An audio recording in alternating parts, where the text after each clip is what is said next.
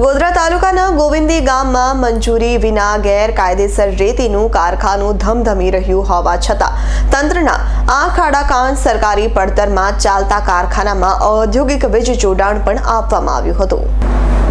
ગોધરા તાલુકાના ગોવિંદી ગામમાં સરકારી પડતર કિશોરનો સર્વે નંબર એક ત્રણ સાતમાં કબજો કરીને મંજૂરી વિના રેતીનું ગેરકાયદેસર કારખાનું ચલાવવામાં આવી રહ્યું છે. અને આ જગ્યાએ એમજીવીસીએલ દ્વારા પણ ઔદ્યોગિક હેતુઓ વીજ જોડાણ પણ આપવામાં આવ્યું છે.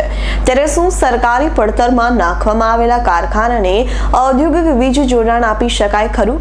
અને સરકારી પડતરમાં ત્યારે વિના મંજૂરી વગર ગેરકાયદેસર પ્લાન્ટ વીજ જોડાણ આપ્યું હોવા સામે એમજીવીસીએલ અને તંત્ર સામે અનેક સવાલો ઉઠવા પામ્યા છે. ત્યારે શું તંત્ર દ્વારા ગેરકાયદેસર ચાલતા રેતી પ્લાન્ટ માલિક સામે કોઈ કાર્યવાહી કરવામાં આવશે કે કેમ? અને તેનું વીજ જોડાણ એમજીવીસીએલ દ્વારા કાપવામાં આવશે કે કેમ? તે તો હવે જોવાનું રહ્યું. Bureau report S news Godhra.